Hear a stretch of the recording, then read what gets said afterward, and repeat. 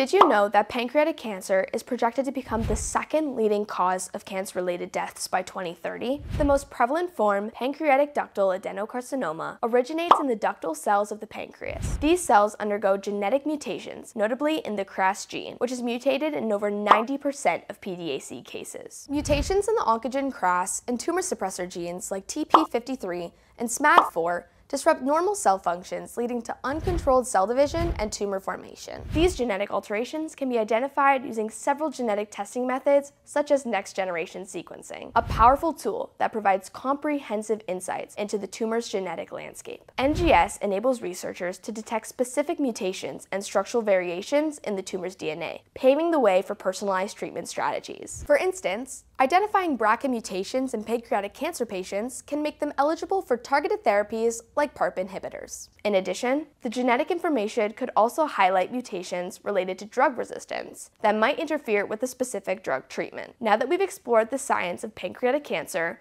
our next video will cover the key symptoms and treatment options. Learn how early detection and the latest therapies can make a difference.